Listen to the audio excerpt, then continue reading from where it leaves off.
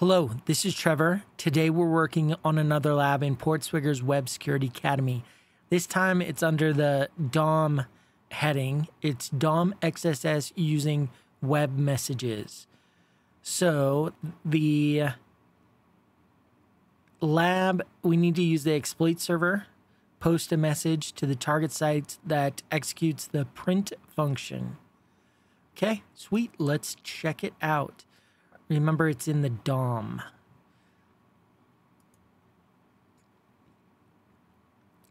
Please remember to like and subscribe.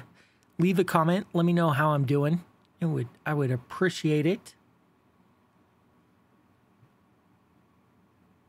All right, this is interesting. It looks like that's gonna be a good spot to check out. Let's actually view page source just to make it a little bit easier to look at.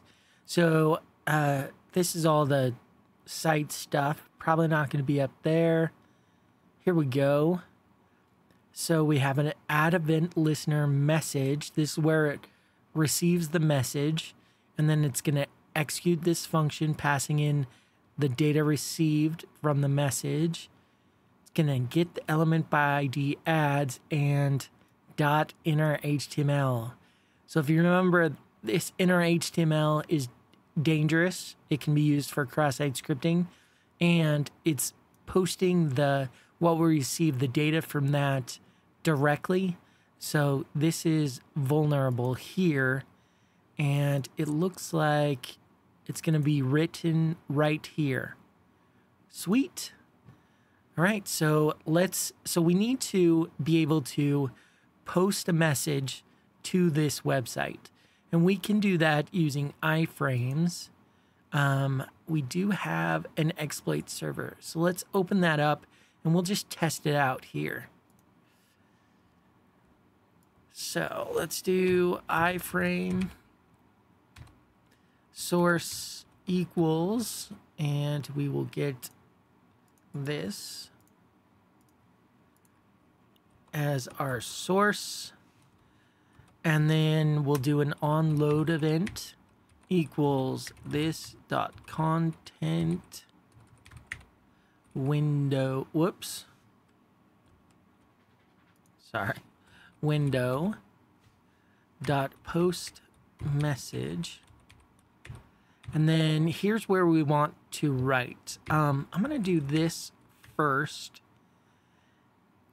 Let's do console dot log one and end script and this and tell it to send it anywhere. There there. Okay. Let's view this. See how we did. It's a little annoying. It's so short. Um, but notice how we don't should be right here. We don't have it. Um, let's search for ads. Remember that was in there. Here we go. And there's our edit as HTML.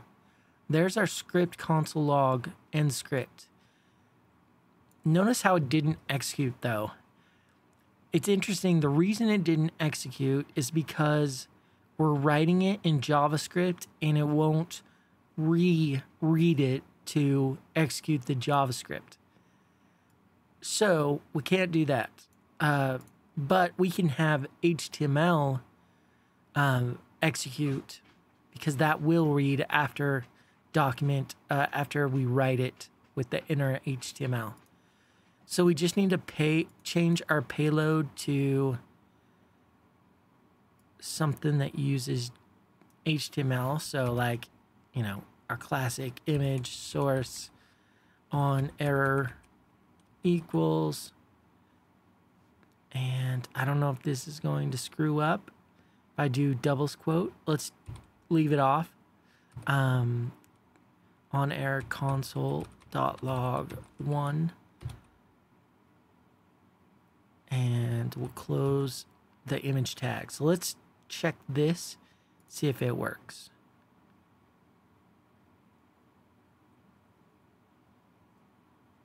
Let's do inspect console. Whoop. We got an error.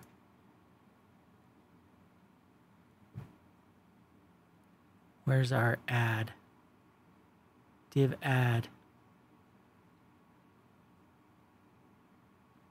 I don't see it here. Well, and we won't see it here. Um, let's see. Where did I mess up? Let's go back here. So, iframe source, this window post message image source on error equals console log.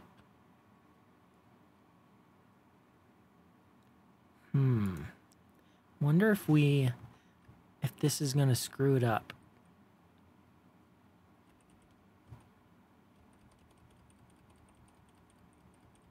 Maybe if I go like this.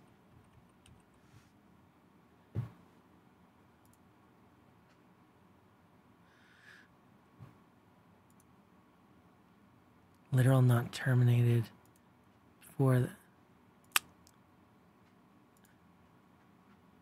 Hmm, okay. It's got to be right there. Onload equals source on error. Everything else looks fine, right? Yeah. So it's just this double quote that's messing up. Um, I can't do. I think I need to leave it. View exploit.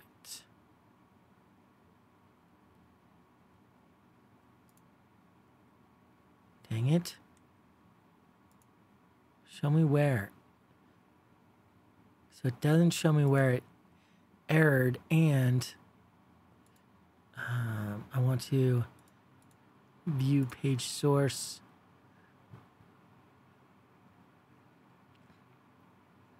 This all looks good, right? Source console log. Maybe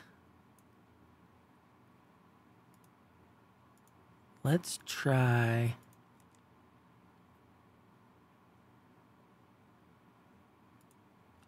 Removing this. Hey, woo, that got it. All right, so that ending thing was not required. Um, let's try making this just a little bit harder and I'm going to put backticks to see if I can type in text. So this is the message.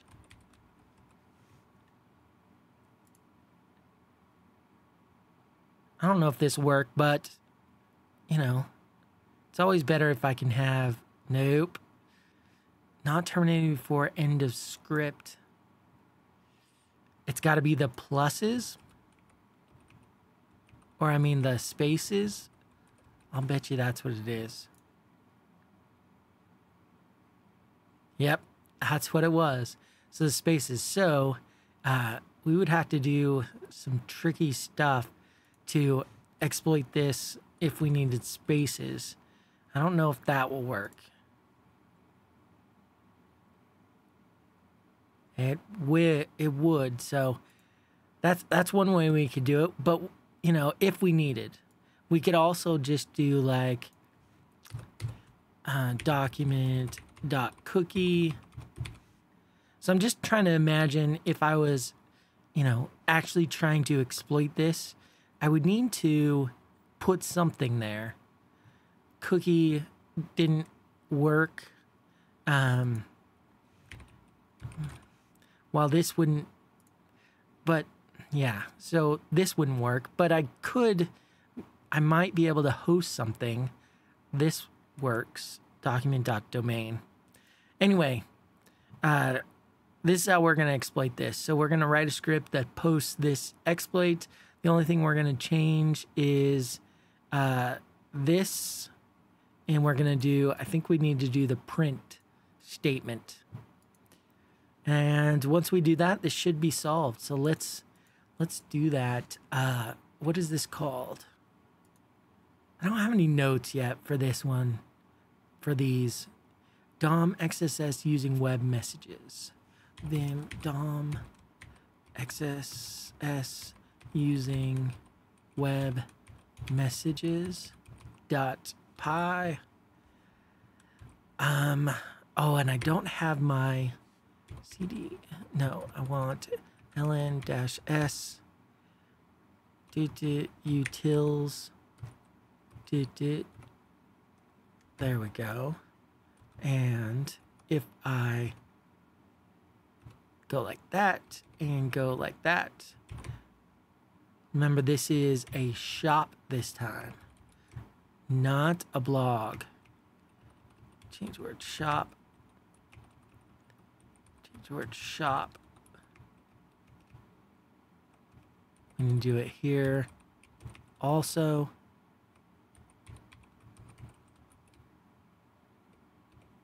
And then we need to write, we need a payload, and then we need, whoops, there.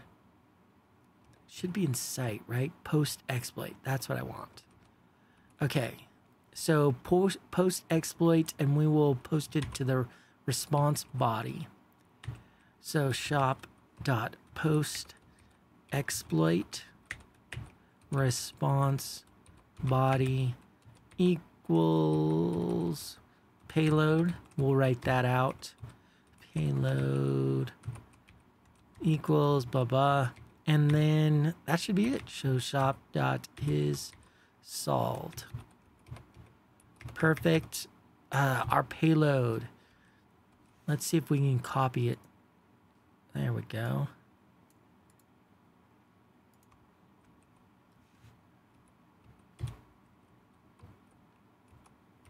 All right.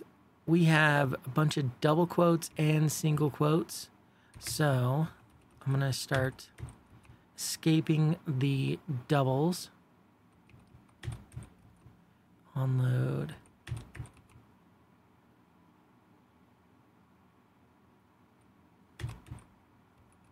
Sweet. Now I want to change this one to be to use the domain receive. So uh, blah, uh, shop dot base URL source on air and then this will be what we really want which is print and why do we have it oh we probably have a red because it's because of the size so we can fix that. Let's do uh, parenthesis, open parenthesis right there. We'll put this starting on a new line and then we'll find a spot to close. I guess here. Again, I'm not the best at this, but whatever. That works, and it's not too long, so we don't get the error. Um, request is unused. That's the only thing we have left. Okay, sweet. So, uh, let's solve this mother. Uh, DOM XSS. And we need the URL.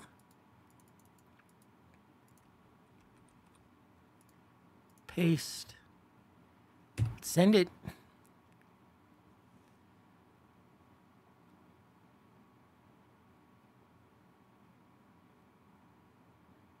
Uh-oh. Dang. Got that. I bet you this has to be freaking URL encoded. Because if you imagine, we're bypassing the form and Oh, no. I need an F here. For one. Let's try it again with the F. And then if that doesn't work, we'll URL encode it. Ah, that was it. Lab is solved. Sweet.